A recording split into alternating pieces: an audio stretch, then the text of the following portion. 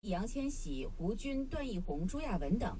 电影以抗美援朝战争中的长津湖战役为背景，全景式的再现了这场惊天动地、艰苦卓绝的战争。长津湖充分展现了当前中国电影工业的雄厚实力，是中国电影产业工业化的代表。晴雨冷暖早知道，天气预报。今天白天，北京阴转小到中雨，伴有雷电，早上有轻雾或雾，北风二三级，最高气温二十二摄氏度。今天夜间阴转多云，北风三四级，阵风六级左右，最低气温十六摄氏度。当前本市实时空气质量指数六十一，空气质量二级良。路况信息，路况房屋委托选相遇，省心省力有保障。三种委托模式，任您随心选择。四步完成委托，坐享房租收益；七大服务保障，让您全无后顾之忧。相遇，让生活更美好。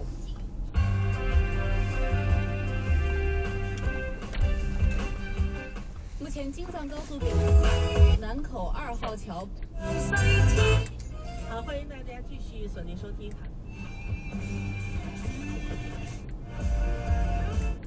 千古风云。呃，最容易遇到的问题，对，就给给业主呢，就是说，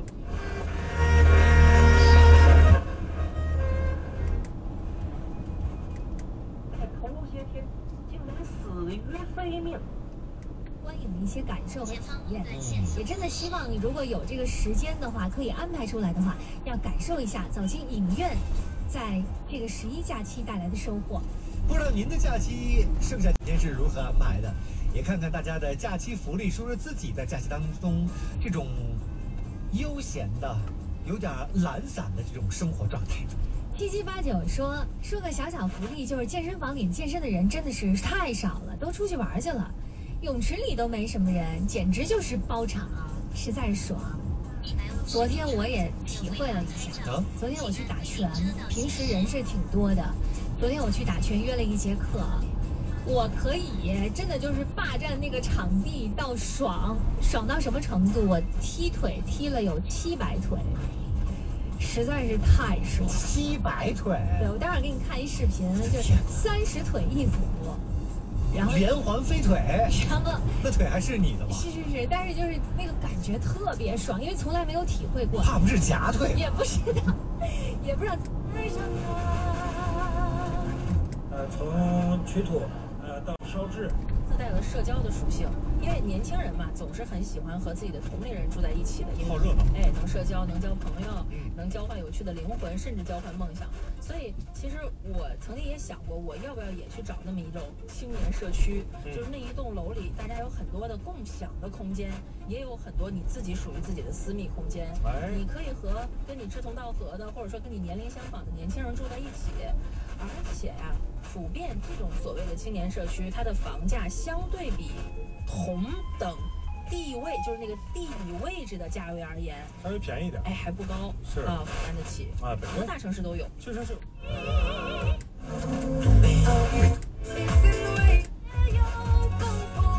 人听着很习惯，说这个。本台消息，国务院国资委求助电话。春保电、保煤、保暖工作进行。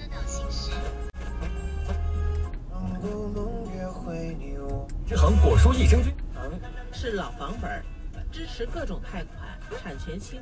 的话，那接下来呢？美国整个的债务会违约啊。要乘着公八个公交车从南向北。这个走向啊，就是这样的话，我早上会不超我的预算。还差。先进产能，家资源是什么样的？之后回来跟大家接着聊。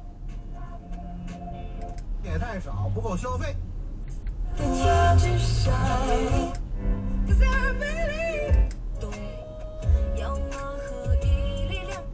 线红线，石油石化和管网企业要产量特别低的情况下呢，我想让大家自救，想发动所有人自己抓药。前方闯红灯摄像，限速四十。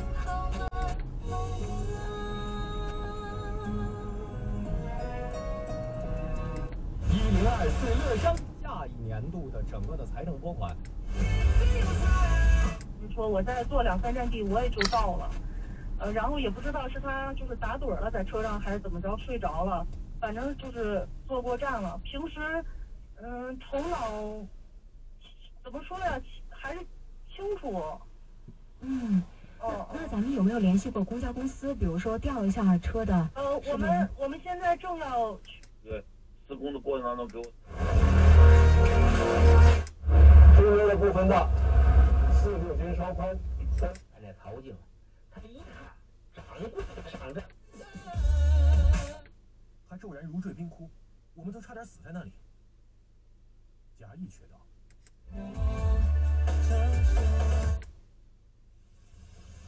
满屋子都是水，我妈这会儿还在大衣柜上坐着呢。为什么呢？你十万个为什么呀你？啊，你能行行好，按照合同上的规定给我们家修房子吗？为什么？你看合同吧，翻到第五页第五十五条，嗯嗯，不是哪有五十五条啊？给你干嘛呀？在缝儿里。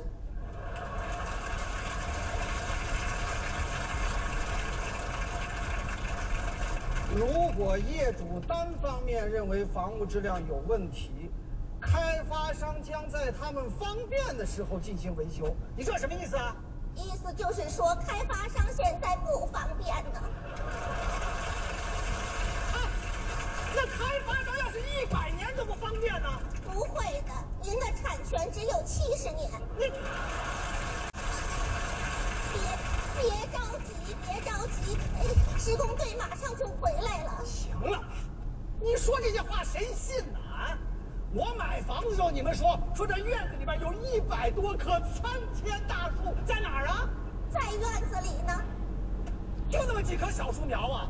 这不仔细看还以为种了一排葱呢。哎，您别着急呀，一百年以后它们就长成参天大葱了。什么？大树了。还有啊，你们广告上画的小区的天空中飞着天鹅，食堂里边游着鱼，鱼呢？天鹅吃了。不是，那天鹅呢？吃饱了飞了。嘿，怎么全让我们赶上了这？巧了。啊，对了，还有这个，你们上面写着买房子送家具，你们送了吗？您买了吗？这这什么叫我买了吗？您没买，我们怎么送啊？不是，你怎么个送啊？就是您在家具店买了，我们给您送家去。这么个送法？你们这是欺骗！为什么呢？你知道，我们顾客就是上帝呀、上帝你好，我们业主就是你们的衣食父母。爸爸你好，爸爸你疲惫了吗？你叫祖宗也没用。我告诉你，今天你要不给我解决问题，你信不信我让你一套房子都卖不出去？反正我也卖不出去。您喝水吗？我不喝。为什么呢？又来了。你你你您好，哎，你好，我是蔡小姐。呃，我是想在这儿给我爸爸选套房子，这不刚看了广告吗？家具是赠送，不是加运送，不是赠送。你让天鹅吃的天鹅吃饱了飞了，我妈这会儿还在大衣柜上坐着呢。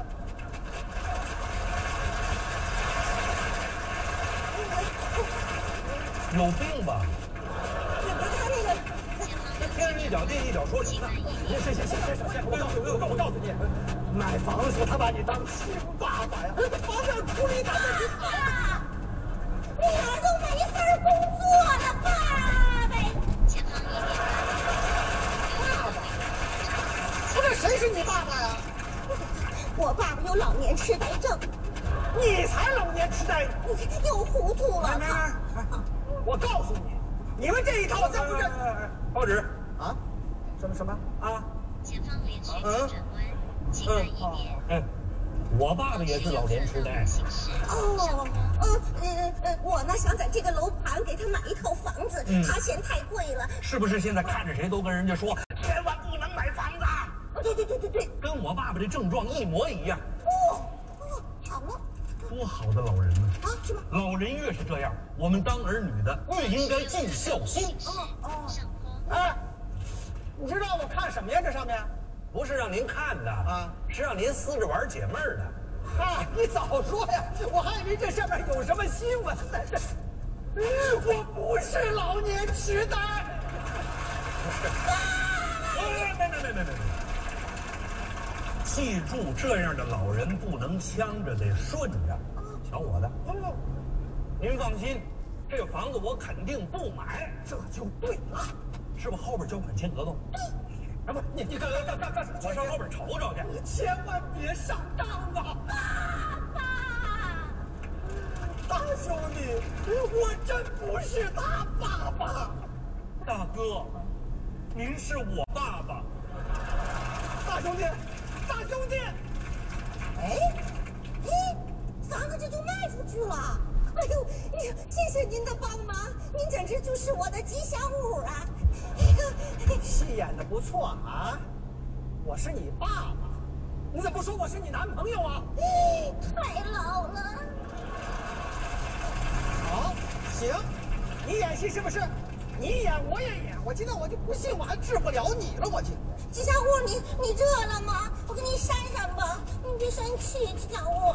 哎哎哎哎哎哎，是售楼处不？你好，我是蔡小姐。能打折不？不能。没问你。嗯。你是经理吧？啊，他不是。看见你给他拍马屁了，那家扇的。我。老蔡，这个客人由我亲自来接待，你被解雇了。为什么呢？拍马蹄子上了。我。从现在开始，你和本公司一点关系也没有了。先生，啊，眼光不错呀。我是这儿的经理。啊，我们的房子不卖了。啊？不卖了？啊。不卖了，你呜呜喳喳打啥广告啊？老年痴呆呀，吃老了撑的你。先生留步。既然我跟这个公司一点关系都没有了，我就可以跟您说实话了。说吧。您知道他为什么不卖您这套房子吗？咋回事？因为他要涨价。啊？我没想涨价。那你卖给人家呀？我不卖。为什么呢？为什么不想卖？还是要涨价？我没想涨价。那你卖给人家卖。为什么呢？我想涨价。说实话了。啊不，我我我我没想涨价，我的意思是说，我不卖，别套子了。说你呢。奸商。我这辈子最恨的就是奸商。大兄弟，看准了，就那价，两套。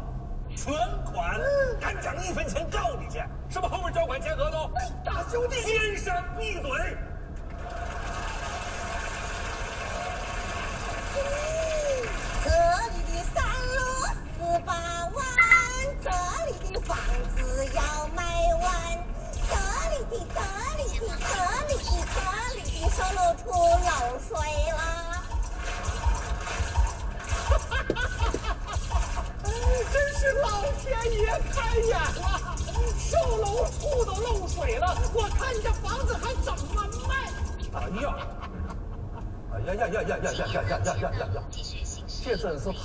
踏破水鞋无觅处，得来全不费工夫。可早到了，这房子可太好了。漏成这样还好啊？当然好了。不是，这漏成这样，你怎么住人呢？漏成这样住人啊？你老年痴呆啊？我当库房，漏成这样，你怎么当库房啊？你知道我是干嘛的？干嘛的？倒腾海鲜的，全是活的，离得开水吗？手雷给你打打的，漏下来这水不收水费吧？嗯，绝对不收。四套。老天爷真是开眼啊！吉祥物，你明天还来吗？来。为什么呢？我老年痴呆呀！那个吉祥物，要不然我自己掏钱给你修房子吧。我不要。你要是真想帮我，就把我那个漏房子水让当那个卖海鲜的去。好啊，有多少来多少，多多益善，全归我。为什么呢？你看这什么？合同。这什么？收据。加到一块叫证据。这知道我是干嘛的？倒腾海鲜的。那是业余爱好。专业呢？专业当然。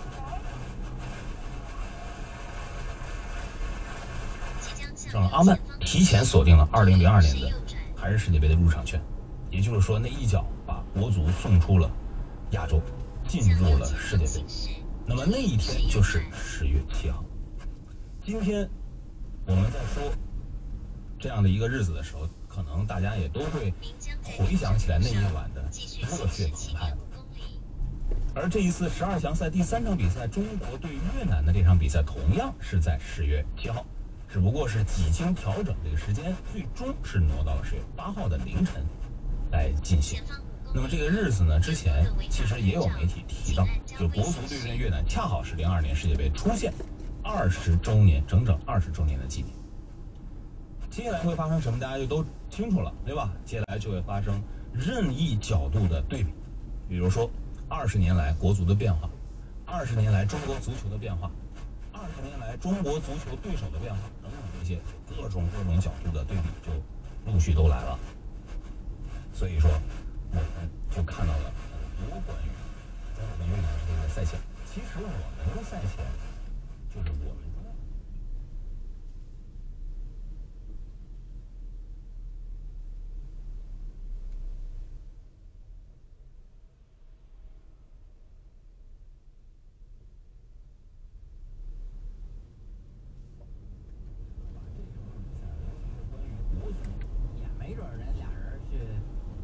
是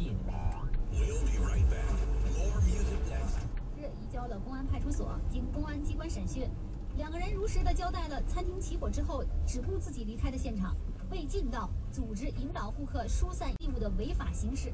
公安机关根据《中华人民共和国消防法》第六十八条规定，对餐厅负责人行政拘留五日。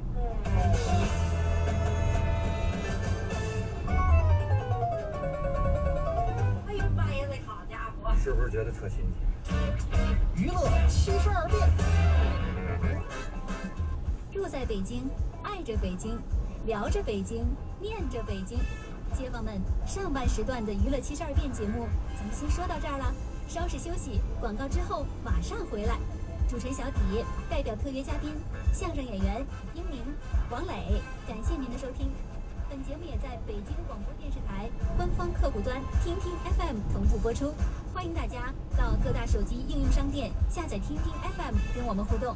另外，您在听听 FM 上收听、回听我们节目的同时啊，有空的话还可以顺便搜索一下李小花的听听号，嘿，听听这杠铃一般的笑声。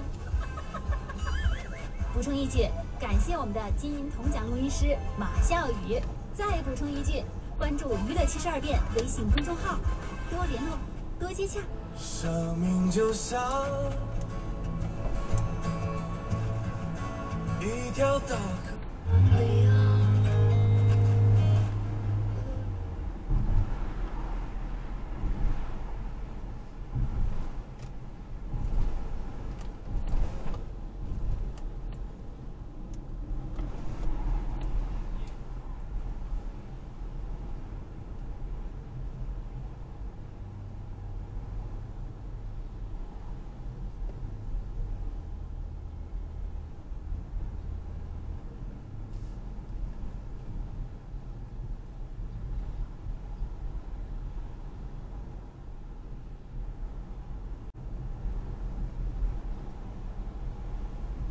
四百五十米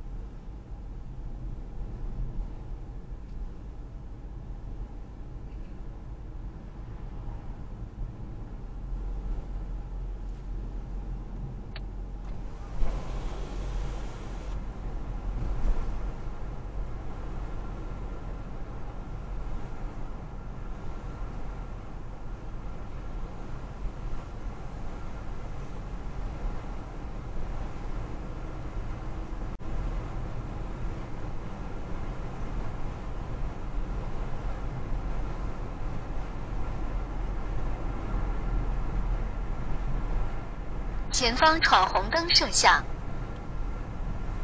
前方一点七公里内有多个闯红灯拍照。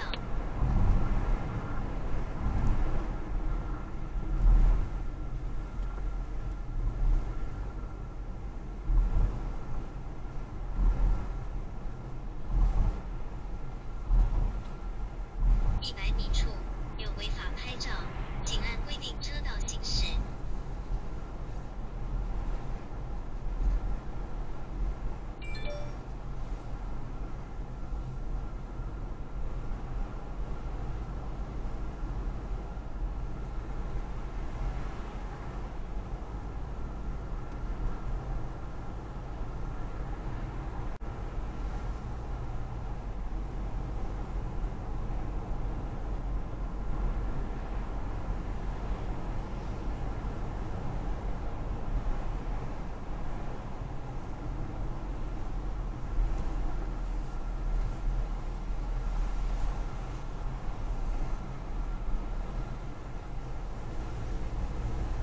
三百五十米处有违法拍照，请按规定车道行驶。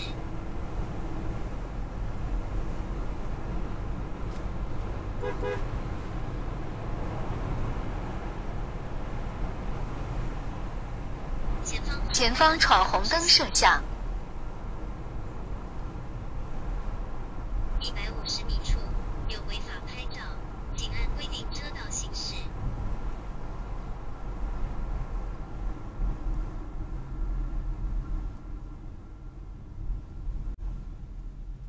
前方红绿灯路口直行。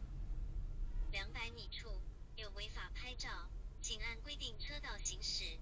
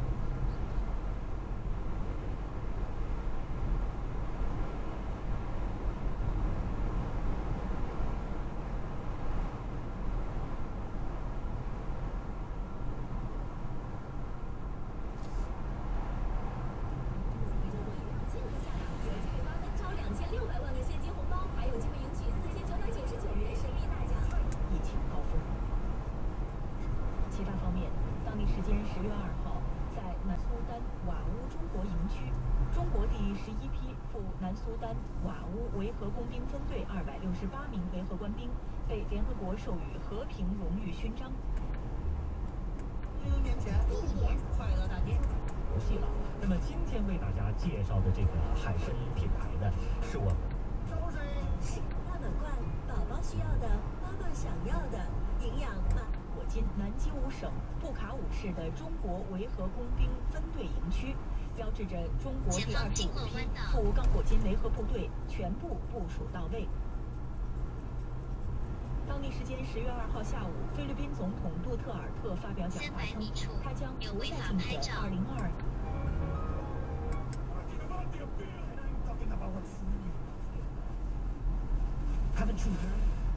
请沿当前道路继续行驶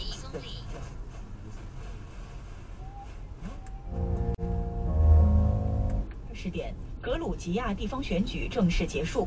据介绍，本次选举投票率约为百分之四十一点三五，选民投票选举出全国六十四座城市的市议会和区议会的议员以及市长。新闻背后，一个个忙碌的身影，一张张温暖的面容。记者们飞奔而至，焦急等待中，竟然突降冰雹，我不得已跪在积水中收音。那在节目前的十分钟里，我已经整理好了西服领带，带上了麦克风，站在了聚光灯底下。采访之中，一幕幕难忘的瞬间，一段段精彩的故事。过去几十年来，中国的社会经历了剧烈的变革和发展。一个中国人活一辈子的生活经历和感受，是绝大部分瑞士人无法想象的。记者世界，探寻新闻背后的人生。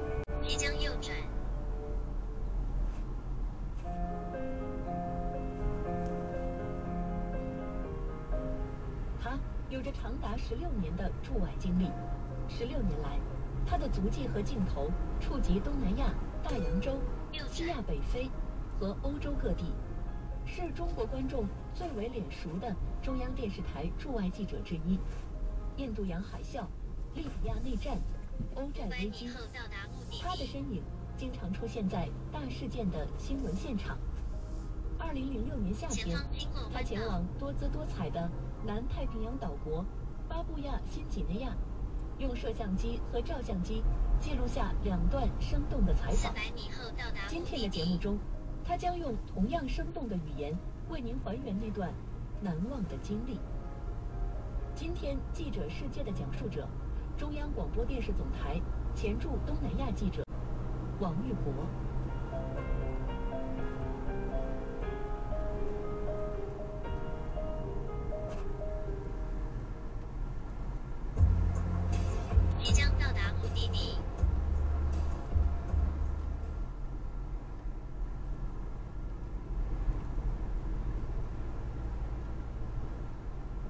北京老泉樱花园景区附近，目的地在您右侧。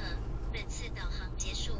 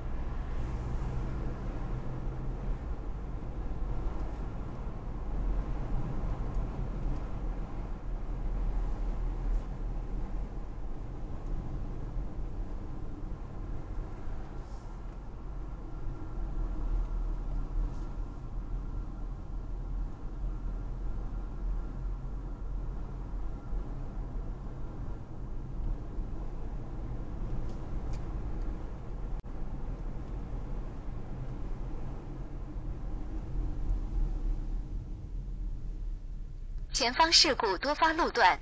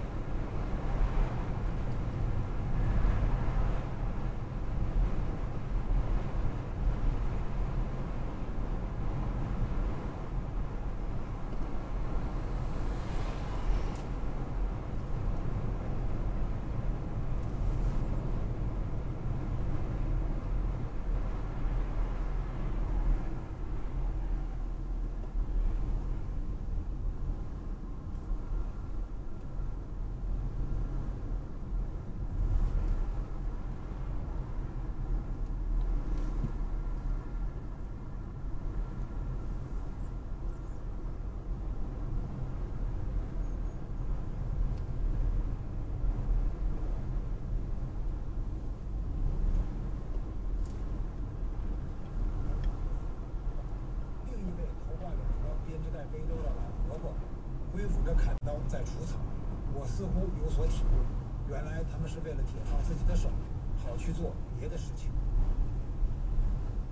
通过询问调查和查阅资料，我找到了巴新的女性偏爱把背兜挂在头上的原因。在这个充满了原生态风物习俗的国度里面，绝大多数前方事故多发路段是由妇女来承担的。一对夫妻上路，如果老公提着重物，而老婆轻松地走在旁边，那他不仅会被指责、被惩罚，而且还有可能丢掉性命。于是，女人们就千方百计地挖掘自己的潜力，多干活，多负重。而之后，我在路边又看到了这样一位女士，一根粗粗的提梁绕过她的额头，缀着她背上的编织篮。前方限速摄像，限速五十。因为她的头上还顶着一个大包裹。背兜上夺目的色彩，无疑是爱美的标志和美的召唤。然而，背后那道看似亮丽的风景，却隐藏着巨大的性别与劳动分工的不平等。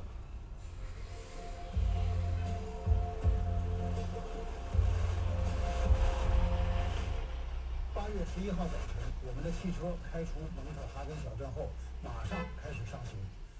驾车的是吉姆的堂弟，吉姆坐在旁边。汽车在时浓时淡的山雾里穿行了大约二十分钟，我们就看到了蓝天和蓝天。车的左侧一脉高高的山峦在树影外起伏。吉姆说：“那就是哈根山。”其实，蒙特哈根里的“蒙特”就是山的意思。我问吉姆，他的警官堂弟怎么称呼？他说叫突门。